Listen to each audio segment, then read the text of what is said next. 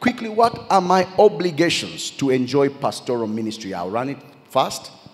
Number one, receive the pastor.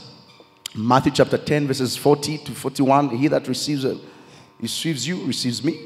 He that receiveth you uh, receives him that sent me.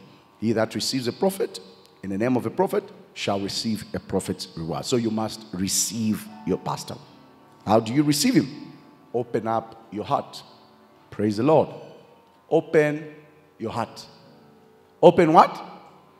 Open what? That's how you receive a pastor. Don't just open the door, open the heart.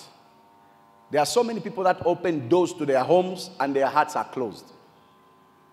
There are people that open up their businesses to the pastor, but their hearts are closed.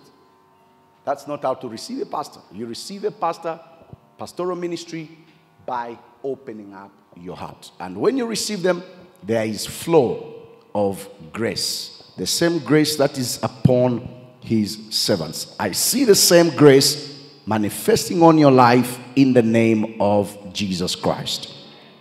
Praise the Lord. No matter how anointed a man of God or a woman of God may be, as long as your heart is closed, they may never be a blessing to you. There are so many people that we think, we assume they are not anointed. Ah, that man is not, is not on fire. No. No. It's your heart that is closed. You understand? The moment your heart opens up, you discover that the flow of grace will find expression in your life.